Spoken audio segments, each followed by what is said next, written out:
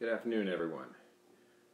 Today is Tuesday, and uh, praise God, we are going to be we're looking at faith, hope, and love. And today is the last on faith. Tomorrow we'll be starting on hope from 1 Corinthians chapter 13, verse 13. Now faith, hope, and love abide, these three.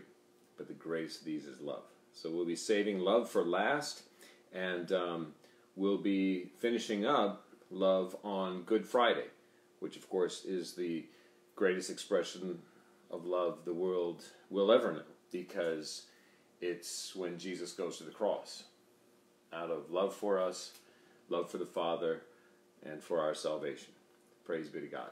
So today, um, I want to talk on the freedom of faith. The freedom of faith. Jesus said, If the Son sets you free, you will be free indeed.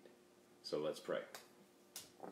Dear Jesus, thank you for the gift of faith. It is a gift, it's not something that we produce.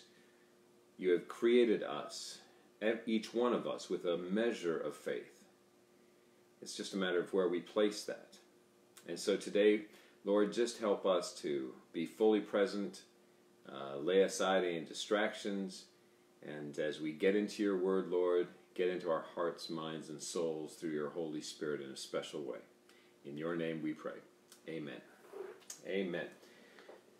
Okay, so the freedom of faith, and I'd like to look at, if you have your Bibles, go ahead and open to Philippians uh, chapter 1. Philippians, and this um, was written by Paul uh, from prison.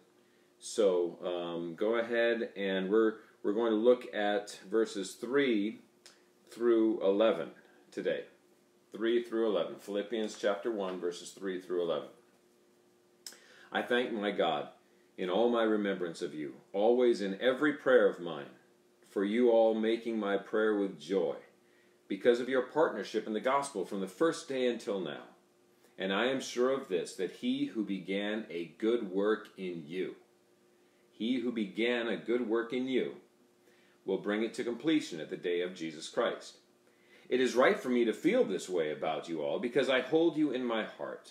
For you are all partakers with me of grace, both in my imprisonment and in the defense and confirmation of the gospel. For God is my witness how I yearn for you all with the affection of Christ Jesus. It is my prayer that your love may abound more and more with knowledge and discernment so that you may approve what is excellent, and so be pure and blameless for the day of Christ, filled with the fruit of righteousness that comes through Jesus Christ, to the glory and praise of God. He who began a good work in you, in each of us. We are his workmanship, created for good works. And um, as I was thinking on the freedom of faith, you know, childlike faith, um, there's such freedom when you look at children and the faith that they have. The faith that they have. So let's look at this a little bit. Um, I want to lift up four ways uh, to where childlike faith can set us free. One is um, humility. I have a lot to learn. I have a lot to learn. And when you think of children as they're growing up, they realize there's there's a lot that I don't know. Got to learn how to tie my shoes and then you know eventually you get into school for instance you've got to learn how to spell and do math. And that that humility that desire to learn is kind of built in to children. And when we get to be adults uh, i remember when i graduated seminary as a pastor it was like something clicked inside of me saying now um, i'm no longer a student now i'm a teacher. I don't have anything to learn anymore I'm just here to teach. That didn't work out so well.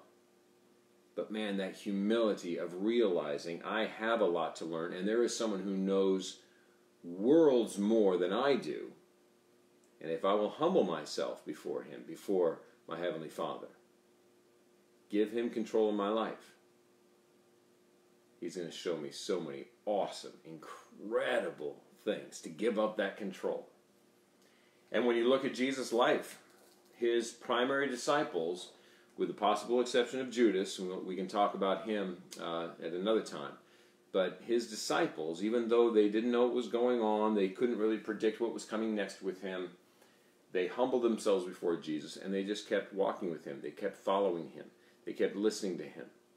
They kept submitting to him. And most people just came to Jesus when they had a need, but they didn't want to become his followers. So they never really experienced that incredible faith that was theirs in Christ. And then there was another group of people, the religious leaders, that were constantly arguing with Jesus. So when we find ourselves arguing with Jesus, we need to back up and say, you know what, Lord, I'm sorry. I have a lot to learn. Please forgive me. And you know, the Bible tells us in Galatians chapter 5 that the only thing that counts, the only thing that matters, is faith in God, faith expressing itself through love. So if we have our faith in the right place, when we place our faith in Jesus Christ, love begins to flow out of us.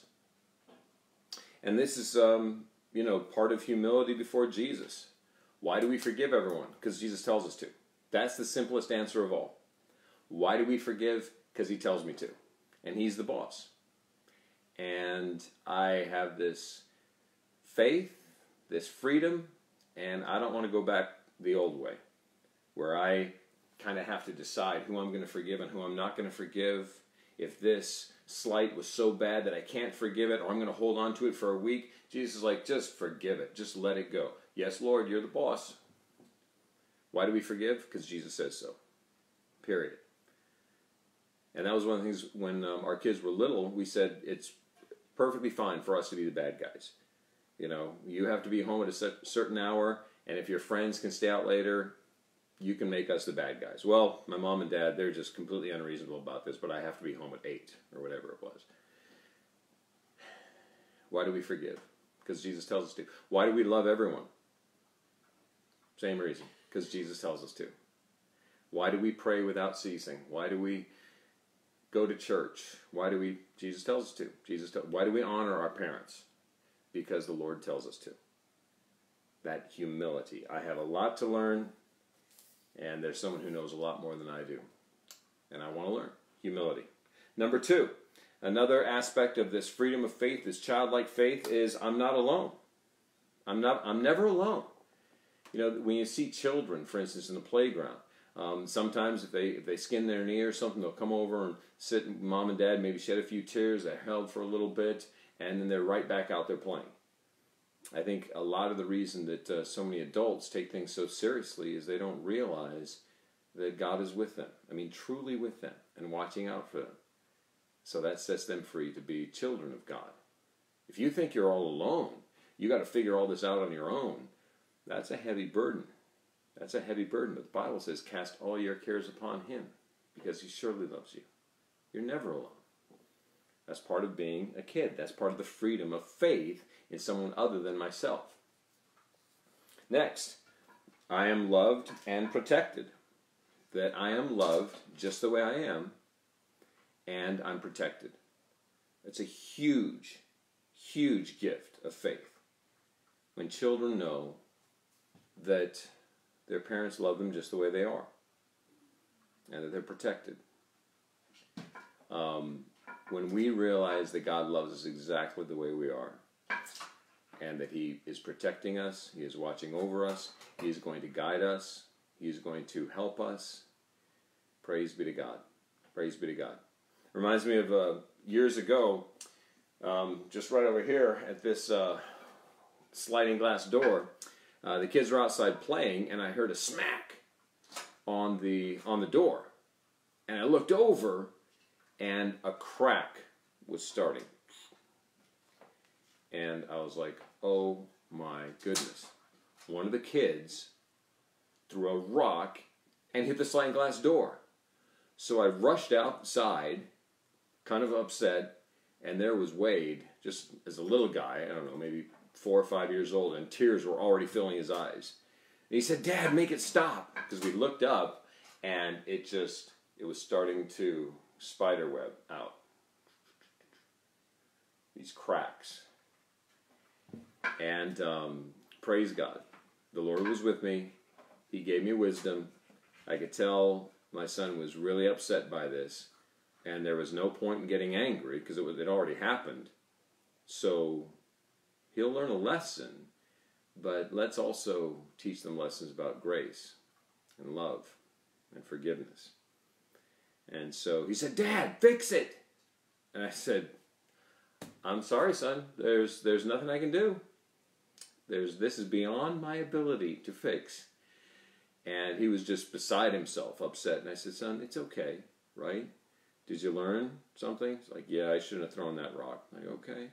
Well, now let's just watch this because my guess, this thing is going to spread over the entire sliding glass door." And sure enough, it did. I mean, it was actually kind of spectacular to watch because it just kept all the way, all the way up into the corners, all four corners, the entire sliding glass door. And there wasn't a piece of glass without a crack in it larger than I would say even a dime. I mean, it was it was kind of spectacular. And so we sat there and watched it, and we kind of even laughed at it, right? But to understand that our heavenly Father is with us, and He loves us, and He's He's not going to rake us over the coals for every mistake we made. That's why Jesus came. He came to die to pay the price for those. But we can learn our lesson that we are loved and protected, and God is going to help us no matter what. The freedom of faith. Praise God. And lastly, there is work to do. See, this is one of the most exciting aspects of faith in Jesus. Is there is always work to do. Always.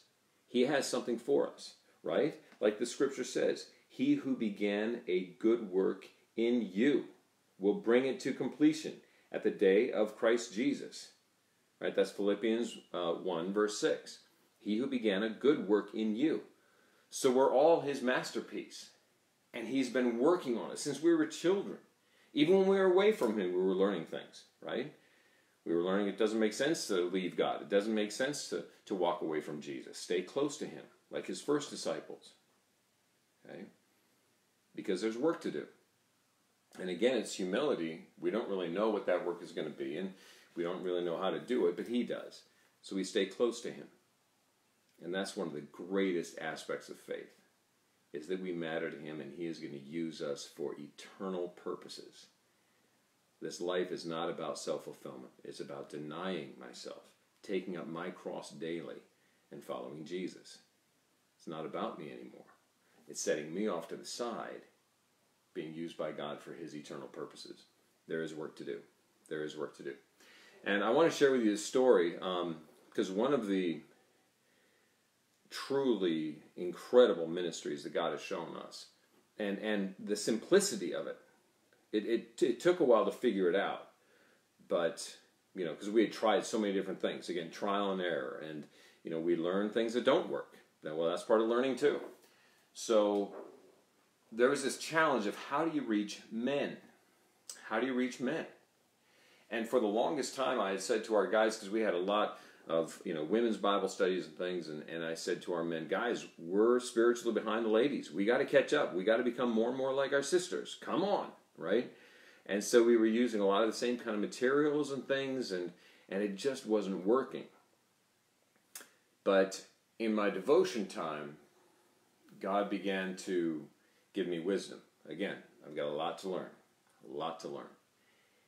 And He convicted me.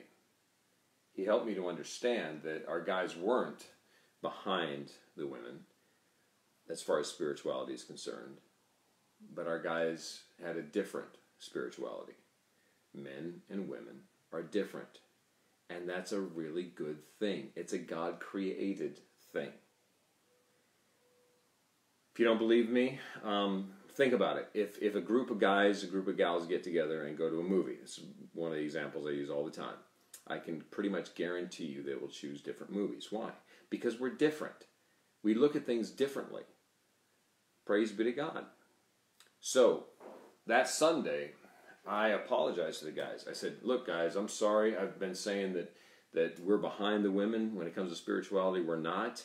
We just have a different spirituality, and, and I haven't figured out what that is yet. But pray. Pray. So we did. and praise God, um, there's a, a gentleman in our church, Coach Paul, who had been a football coach for 40 years, high school and junior college, and God just kind of moved in my heart to talk with him. I mean, if anybody would know how to motivate young men, and just because we get older doesn't mean the motivation changes, it would be a football coach, a successful 40 year football coach. So I called Paul and um, I came, he came to my office and we just talked. And I said, Paul, I know we're supposed to reach the guys, but I don't know how to do it. So, what have you learned? How, how did you motivate all these young men? And he said, high expectations. High expectations. He said, I would come, I would actually go into these young men's homes. And he started out in an inner city where a lot of times these young men, it was just them and their mom and, and siblings. And he would go in and he would look these young men in the eye and say, I expect you to come in and be a leader. There aren't going to be any superstars on this team. We're going to give our best and we're going to play for each other. And uh, if we do that, we're going to be tough to beat. And so he sort of shared some of these high expectations he had for these young men. And, uh, you know, it was just, it was awesome to listen to. And so I asked him, I said, so how many young men did you, did you coach? He said, three, around 3,000. I said, how many quit because your expectations were too high? And he said, three. And it hit me like a Mack truck. The reason we had so few men in Bible studies and ministry was not because our expectations were too high. It's because our expectations were pathetically low. Insultingly, sinfully low. Because you read the scriptures, and God has work for all of us. All of us matter. And it's way beyond what I had understood. So Paul and I, Coach Paul and I, we prayed. We prayed for like nine months before we even began our men's ministry, and then, um, you know, there was some some uh, discernment and refining over the years. But now, you know, we get a group of of maybe six to seven guys, and you read five or six verses, and the leader isn't the teacher. The leader is the one that draws out the faith from the other men. What do you see? What do you see? And it's the most astonishing thing. It's just awesome to watch as men look into God's Word and their Heavenly Father starts speaking to them. And they start to get God's vision of who they are, how important they are, that there's work to do. And the work starts in our hearts. And the next place that it moves to is our families. To become men of God. Men of God. This morning when I woke up, I realized I started a story yesterday and I didn't even finish it. We had a gentleman come from Washington, right, the state of Washington, and he came and he was. Um, I, we, we kind of shared the vision of our men's ministry with him, where it's just so unbelievably simple, unbelievably simple. Think about the first the first disciples, a bunch of fishermen. These are not complicated guys, but they were men. And once their minds and their hearts started connecting with Jesus, they and they stayed with him, nothing was going to stop them. Nothing. So anyway, this gentleman um, he he uh, got this vision, and he went home, and he started a Bible study in his own neighborhood. And maybe this is something God wants you to do with some of your neighbors over this break. We have a lot of time, right? A lot of people are doing a lot of nothing. Maybe God wants you to start a Bible study in your neighborhood. And he lived like in a cul-de-sac area up in Seattle. And so I talked to him and I said, So how's it going? He's like, Well, it's going okay. It's not, not, as, not as good as I would like. And I said, Well, tell me about it. And he said, Well, we've got, um, I've got six guys, six guys from the neighborhood that we, the six of us, we meet um, every week for Bible study. I said, Six guys. He said, Yeah, three of them don't even go to church, but they, they won't miss the Bible study. I'm like, I said, How, wh- why would you possibly be disappointed about that? He said, Well, we, there are these other two guys on the block, and we just can't get them to come. Yeah, yeah. I said, Just keep praying for them. But if you get six out of eight guys on a block, getting together for a men's Bible study every week. That's phenomenal. That's phenomenal. Praise be to God. There's work to do, and it starts with humbling ourselves before God and listening.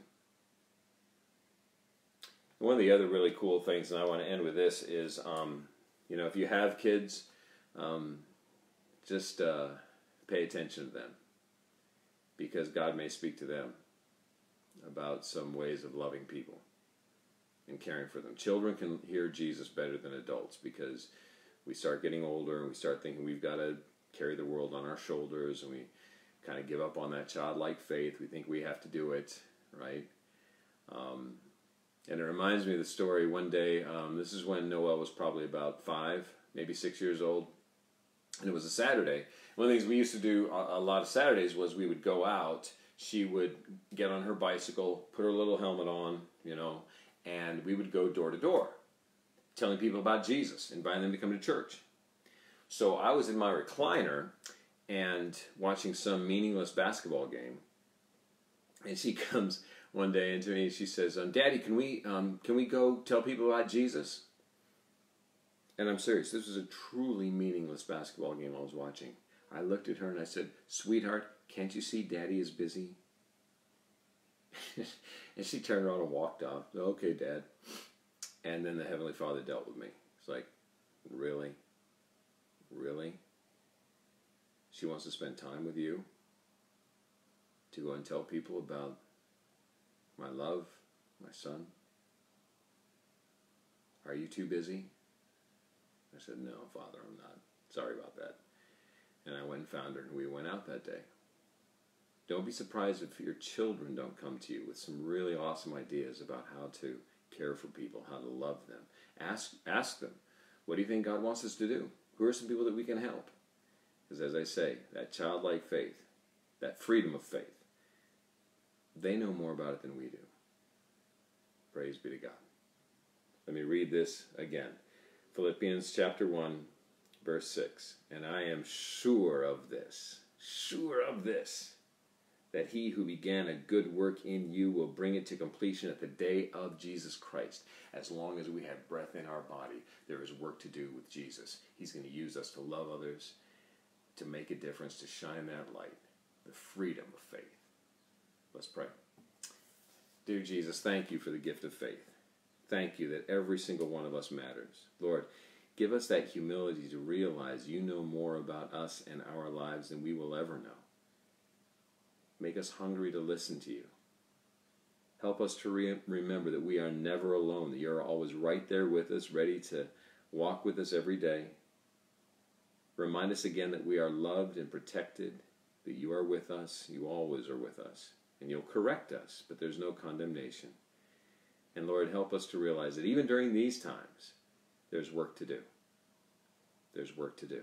So open up our hearts and minds, speak to us, and lead the way. We love you, Lord Jesus, and thank you forever for this gift of faith. In your name we pray. Amen. Amen. Thanks, everyone. Have a wonderful night, and uh, hope to see you tomorrow night at 5 o'clock. God bless.